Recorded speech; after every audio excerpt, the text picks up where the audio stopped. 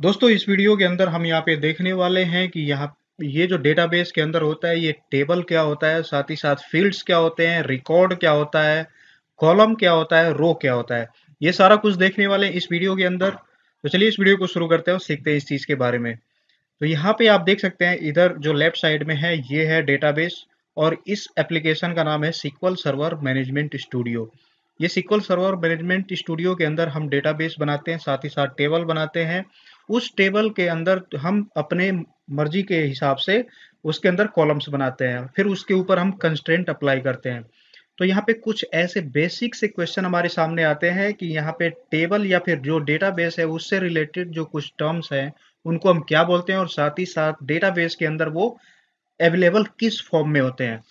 तो जैसे अगर सिर्फ़ एक डेटाबेस इसकी मैं बात कर लूँ, यहाँ पे आप देख सकते हैं, इस डेटाबेस मेन्यूज के अंदर यहाँ पे दो डेटाबेस मैंने बना रखा है। एक तो ये यूट्यूब का और दूसरा एक प्रोजेक्ट के लिए मैंने अलग से बना रखा है। ठीक है, दोनों के नाम डिफरेंट है। तो इस डेटाबेस के अंदर आप देख सकते हैं, एक टीबीएल एम्प्लॉय करके मैंने एक टेबल बनाया हुआ है। इस टेबल के अंदर, पहले तो टेबल क्या होता है? तो टेबल बेसिकली होता है कि जो रो और जो कॉलम उस फॉर्म में अगर हम डेटा स्टोर करके रखते हैं तो वो हो गया टेबल तो जैसे इस टेबल का मैंने जो select star from TVL employ मैंने किया तो इस टेबल के अंदर जितनी भी इंफॉर्मेशन यहाँ पे स्टोर्ड है, वो सारी आपको यहाँ पे देखने को मिल रही है, जिसमें ये सारी चीज़ें आपको देखने देखने को मिल रही है। तो ये हो गया टेबल अब इस टेबल के अंदर कॉलम्स क्या होते हैं?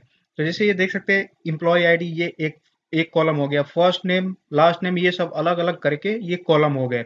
ऐसे ही ये, जैसे ये फ़र्स्ट रो होगा टेबल के अंदर जो रिकॉर्ड्स होते हैं, जैसे ये फ़र्स्ट रो हो गया, ऐसे ही सेकेंड रो हो गया थर्ड रो हो गया।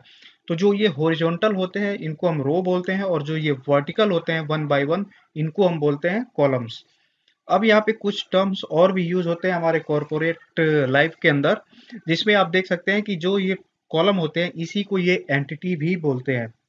एंटिटी या फिर फील्ड्स तो इस चीज़ को भी आप ध्यान रखिएगा कि अगर वो बोलते हैं कि किसी एक फील्ड्स को मॉडिफाई करना है अपडेट करना है मतलब वो किसी एक कॉलम पर्टिकुलर कॉलम की बात कर रहे हैं।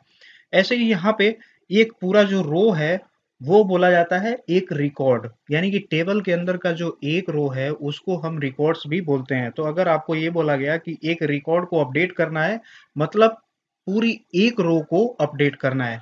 खैर, वो अपडेट करने के लिए जो भी हम कंडीशन उस पर अप्लाई करते हैं, वो आगे की वीडियोस में आप देखते जाएँगे कि कैसे हम कंडीशन लगाते हैं, कैसे हम पर्टिकुलर किसी एक रो को पिक कर सकते हैं, ताकि हम जो अपडेट करेंगे सिर्फ़ उसी रो पे यहाँ पे अप्लाई हो, ना कि पूरे के पूरे टेबल के ऊपर। तो ये सारा कुछ भी हम यहाँ पे देखते रहेंगे। तो आई होप आपको ये क्लियर हो गया कि जो टीबीएल जो टेबल होता है और साथ ही साथ जो रिकॉर्ड्स होते हैं रो कॉलम एंटिटी फील्ड्स ये सब क्या होते हैं, सारा कुछ आपको समझ में आ गया। तो उम्मीद करता हूँ आपको वीडियो अच्छा लगा। अगर वीडियो अच्छा लगा तो लाइक करें साथ ही साथ कोई भी डाउट आता है इन बिटवीन तो आप नीचे कमेंट करें चैनल को सब्सक्राइब करना ना बोलें मिलते हैं आगे वीडियो में, तब तक के लिए धन्यवाद।